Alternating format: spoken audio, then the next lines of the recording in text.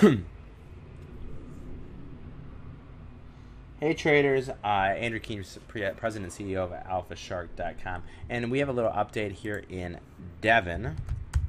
And look at the stock go. I flagged this as the trade of the day a couple days ago, and this stock is on fire here. You can see I have over three thousand dollars of profit. This is my biggest position, 110 calls, 70 cents. So I have about seven thousand dollars of risk here, and we can see that I started taking these off. I added to these guys at 43 cents, so you could have gotten in as cheap as 43 cents. DVN, this was a trade of the day on the blog for free. AUG, 33 calls.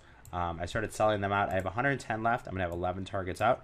62, 71, and 77 cents. So if you bought a 20 lot for 43, sold them at 77, it'd be about 70% return, and you would have made about $700. So great trade here in Devon.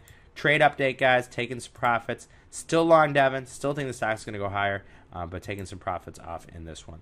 This is Andrew Keene, President and CEO of AlphaShark.com. Keep an eye on DVN AUG 33 calls. Thanks, guys. Run it back tomorrow.